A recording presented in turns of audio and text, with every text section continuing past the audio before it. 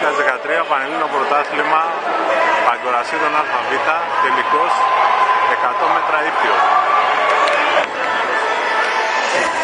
Η Ιωάννας στη διαδρομή νούμερο 5.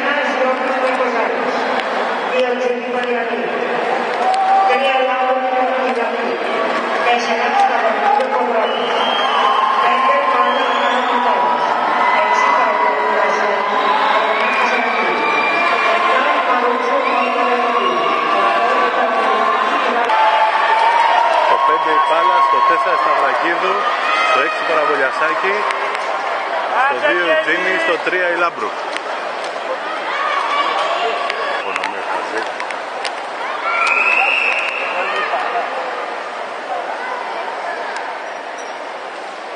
Καιρό Κέλλη!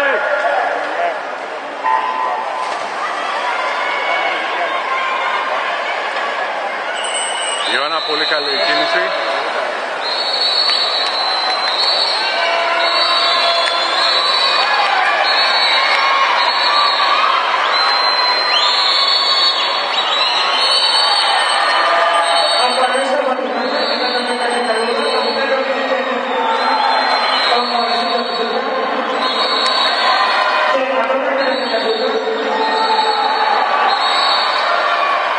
Γυρίζει δεύτερη, πρώτη γιόγα.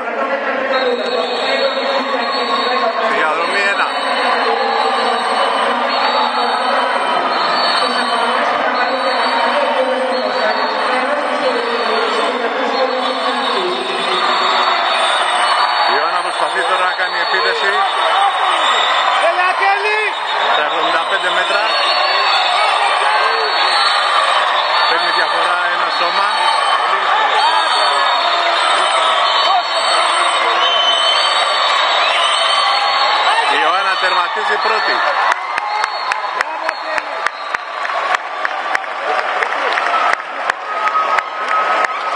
Πάει τερματίζει πρώτη και κάνει 1-9-37, την καλύτερη της επίδοση. Δεύτερη Λάμπρου, 1-10-67, τρίτη Σταυρακίδου 1-10-80. Απονομής στα 100 μέτρα ήλθιο Παγκορασίδων Β.